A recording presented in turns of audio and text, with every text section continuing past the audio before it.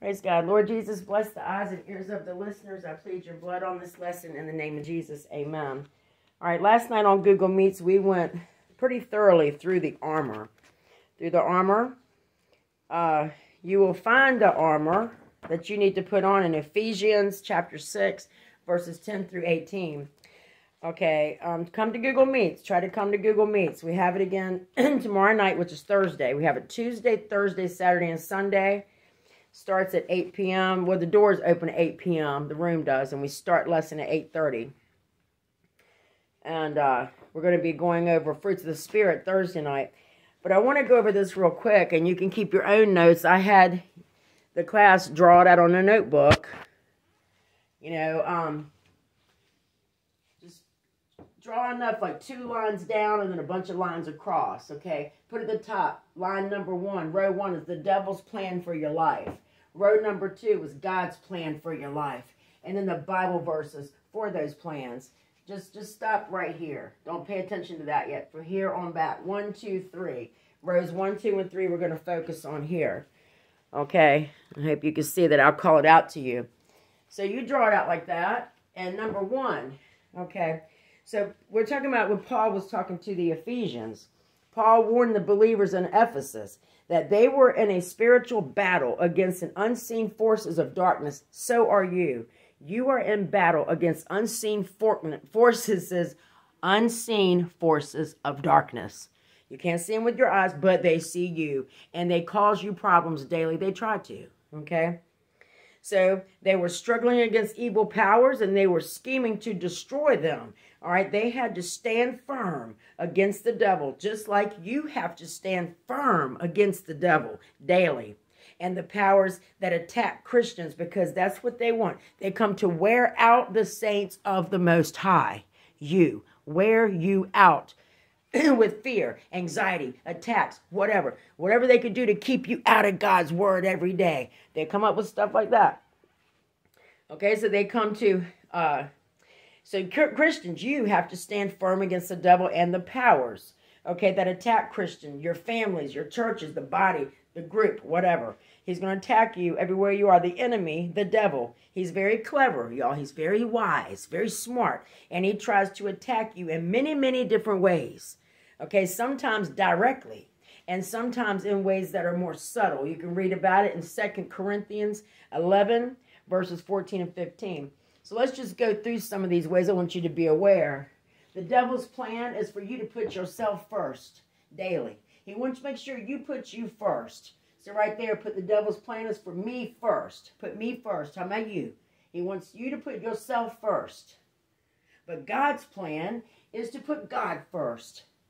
That's why you wake up in the morning. I know you got a busy day, but the first thing you do is spend a little bit of time with God. Put God first. Bible scripture for that, put it right across here, is Matthew chapter 6, verse 33. Just going to fly through some of these. The next one, the devil's plan is to lie. He lies. God's plan is truth. Proverbs 14, 25. The devil's plan is for you to have fear. God's plan is love. 1 John 4 18. The devil's plan is to get you discouraged. God's plan is confidence and strength. Deuteronomy 31 8. The devil's plan is anger. God's plan is patience. 2 Timothy 2.24. The devil's plan condemns other people, condemns. God's plan is for you to endure. Colossians 3, verses 12 and 13. The devil's plan is for you to get your power from alcohol and drugs, from substance. God's plan is for you to be powered by the Holy Spirit. Ephesians 5.18. The devil's plan is for you to be complaining all the time. God's plan is contentment. Philippians uh, 2.14. The devil's plan is for you to do things your way. God's plan is for you to do things God's way. Proverbs 16.25. You want to know what the devil's plan is for you? Death. What did I tell you all death really is? Not when you uh, leave off this planet, out of this body. That's not death. Death is when you leave this planet out of this body and you don't go to God because of your sins. When you are separated from God for eternity, that is death. Not because we come out of this skin. That's not death, y'all.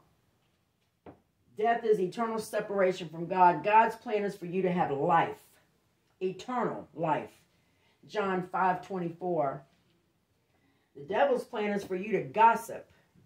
God's plan is confidentiality.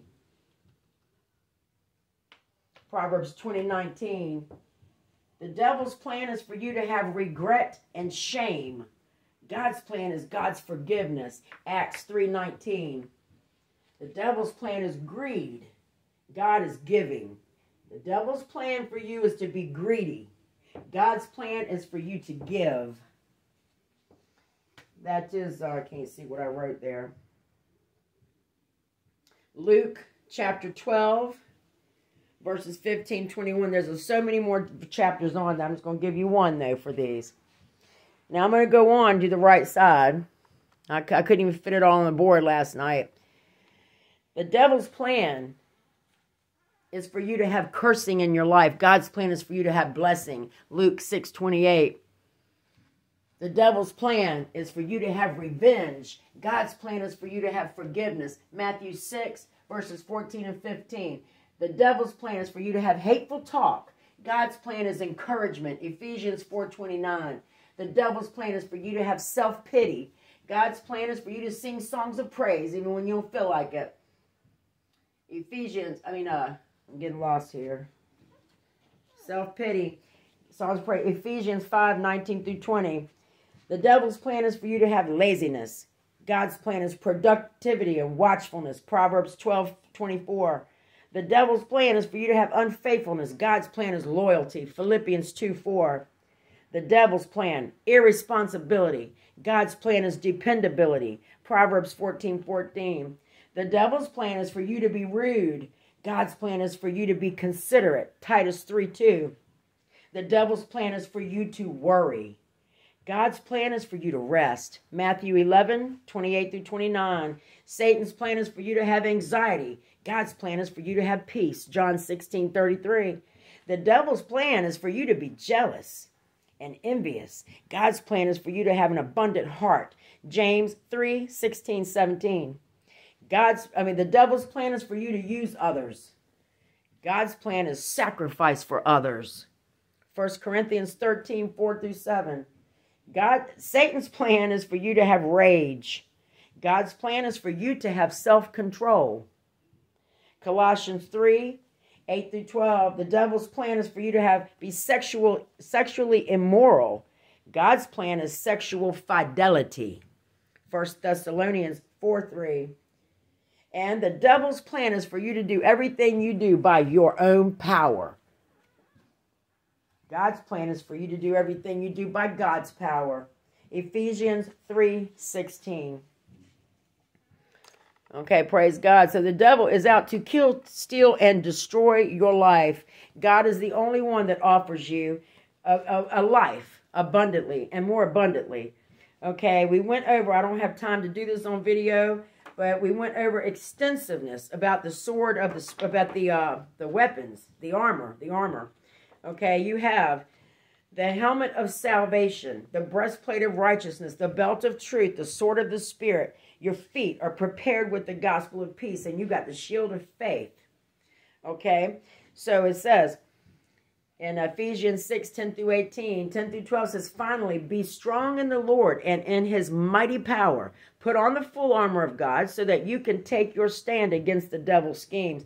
Why do you have to armor up? Because you are a soldier in a battle that you can't see yet. You can't see this battle with your eyes, but you're in it. You're in it. You can see the plans the devil has laid out in front of you in row one you got row one. This is all the devil's plan right here. You have skip two. You have row one here. The devil's plan to destroy you. Kill, steal, and destroy your life. That's the devil's plan. Okay, so you, you are in a battle. And you have to armor up. Okay. For our struggle is not against flesh and blood, but against the rulers, against the authorities, and against the powers of this dark world, and against the spiritual forces of evil in the heavenly realms. There is evil forces in the heavenly realms that is here to attack nobody but you right now, okay? Therefore, put on the full armor of God so that when the day of evil comes, you may be able to stand your ground after you have done everything to stand? Are you doing everything you can to stand? Are you doing everything you can to stand up and fight this battle and win it? Because with God's plan is for you to have life, have it more abundantly. Okay? Verses 14, 15. Stand firm then with the belt of truth buckled around your waist, with the breastplate of righteousness in place, with your feet fitted with the readiness that comes from the gospel of peace. In addition to all this, take up the shield of faith with which you can extinguish all the, the uh, flaming arrows of the evil one. Take the helmet of salvation and the sword of the Spirit, which is the word of God. Let me tell you, well, we just named off everything here. The helmet, the shield, the, the breastplate, the belt, the shoes. Everything is, is, is protection for you. That's your protection. Okay, the helmet of salvation, the shield of faith, hear me, the breastplate of righteousness, the belt of truth, the feet prepared uh, with the, the peace of the gospel. All that is your protection. You have one weapon out of all this, and that is the word of God, the sword. That is your weapon to fight with. What did what did Jesus do when Satan came and, and, and uh, attempted Jesus? All three times, Jesus stuck the sword out in him, the word of God. That is your weapon. So I had somebody ask me, do I really need to read the Bible? Well, do you want to win this battle? Do you want an, a life and more abundantly? Then yes, you need to you need to know God's word. You need to read it, study it, know it and live by it. That is your only weapon. Okay? So, and he said, and pray in the Spirit on all occasions with all kinds of prayers and requests. With this in mind, be alert and always keep on praying for all the saints. So we pray always. We always pray. We're always talking and in commune with God the Father. We are always in commune with Him. And we are always praying for the other saints because saints, all of the saints are getting attacked daily, you guys. So we need to lift each other up in prayer. So when you're praying at home just for yourself, and your life and your family, you need to also be praying for the rest of the saints, even the ones you don't know, because every single saint of God is being attacked by the devil with more than this, but this is just some of the list. Okay, and it's a struggle for even people you don't know, saints you don't know. So include everybody in your prayers. Include the body of Christ in your prayers. Okay, because it's a real battle. All right, uh, we went through this quite much. Uh, we spent a couple hours on it last night in Google Meets. And like I said, we're going to go in through the fruits of the Spirit and have a deeper discussion on that uh, tomorrow night, which is Thursday night. Okay, so let's talk about who wrote the book of Ephesians. Who who who was a, who was bringing this up to the to the uh, Ephesians? It was Paul. Paul, who was Paul? Paul was an apostle of Jesus Christ. As a young man, he used to he used to persecute the followers of Jesus, having them arrested and put in jail. Paul did that. And then one day on his way to Damascus, a bright light appeared and blinded him literally. And Jesus spoke to him from heaven and told him to take this message to the Gentiles and the Jews. And Paul was converted and baptized right then. And he went on many missionary journeys, y'all, and wrote letters to believers in churches in different cities and stuff. Okay? So just wanted you to be aware of who who who was writing to these churches, to this particular church. But this is what Paul said we need to do. We need to put on the belt of truth says, with the belt of truth buckled around your waist. Okay, I'm just going to do short form. Back in the role in the soldiers' days, in the Roman soldiers' days, they had a belt that wrapped around their waist with little uh, silver, I don't know, uh, little silver balls on it or something that, you know, it came down in front of them to cover their it is a belt and it came down in front of them to cover their private areas okay for protection okay the breastplate was you know made out of whatever they made it out of um, lambskin or something. And anyway it was an armor you know? So they would protect their vital organs in their chest okay? And they had the uh, feet prepared with the gospel of peace okay? Because the soldiers back then had to do a lot of marching marching. They had to make sure their feet didn't slip and slide and they could stand firm in their place and it kept them firm okay? The shield of faith okay? The shield will protect you from fiery darts and things coming at you okay? The helmet of salvation a helmet. The roman soldier helmet was uh, made of bronze and iron and and uh, they had little pieces that come down about the back of their neck and around the sides of their cheekbones to cover, you know, kind of protect their face and cheeks, you know, and, and they had little cushions they wear like uh, sponges and stuff inside the helmet so it would fit more comfortably on the head. Okay, so it did a lot of protecting their head.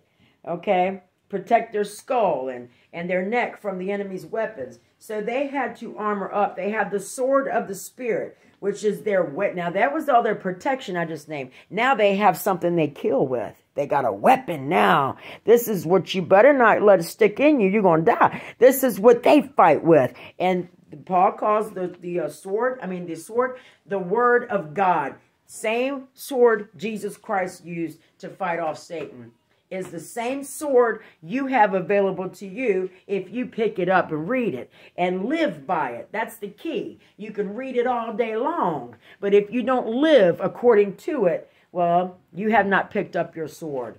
Okay? Nor are you getting baptized in the water. You have to be baptized in the water. Okay? Which is living according to God's word. All right, you're going to be going into battle. The Roman military worked together using a formation known as a tortoise, okay? And the tortoise, the rows, the rows of soldiers closed all the gaps between one another and held their shields at the edges. Okay, so there was there was all just a line of soldier, soldier, soldier, and all the shields. Nothing could get through them. They lift their shields up. So the first row of men placed their shields in front of them to protect the front mans in the front. Okay, and and, and soldiers on, on the flanks held their shields to the side. The troops in the middle balanced their shields on top of their helmets and overlapped them. Let me show you a, a picture right there. You see the picture, just like that. So they were protected, guarded all the way around. Okay, the, the, the formation protected the soldiers like, like a shell uh, protects a tortoise, okay? If I'm saying that right, you know, a tortoise tortoise. so as long as the uh, soldiers remained together in this formation, they were nearly undefeatable. So it's important to notice that the shield described by Paul was intended to be used in company with others. The rectangular Roman shield was built for use in the tortoise uh, formation. Okay, in the same way, our faith is intended to function with other Christians drawing us together and strengthening us to care for one another. Like Roman soldiers in the tortoise formation, when Christians remain close to each other, we can be strong. Galatians 6 2 says, Carry each other's burdens, and in this way you will fulfill the law of Christ. Okay? Uh, Ecclesiastes 4.12 says, Though one person may be overpowered, two can defend themselves. A cord of three strands is not quickly broken. The Bible is telling you to form yourself, just power. There's power in numbers, power in the body. The more you have praying for a certain situ situation, the powerful it is. The more, the more you're praying together, coming together as the body, looking out for one another, looking out for the ministry, look, praying for the ministry, doing what you can do in the body, it brings power, protection. You understand? So it's very important. But again, the devil wants you to be very selfish. He wants you to be selfish. It's your way. It's me first. La, la, la. Well, that's not God's way. Okay? So just write, read through that and, and get your armor on because there is a real battle, y'all, going on around you daily. And I speak to many of you daily that is fighting this battle. And most of you, it's all the same battle. It's all the same battle with the same answer. The same answer for every single one of you. Get in God's word and live according to it. That's your answer. All right. If you don't know Jesus, ask him to save you. All right. A couple of you, thank you for what you've done for helping this ministry. Thank you for, for doing that. All right. In Jesus' name, God bless you all. Come to Google Meets tomorrow night, which is Thursday night.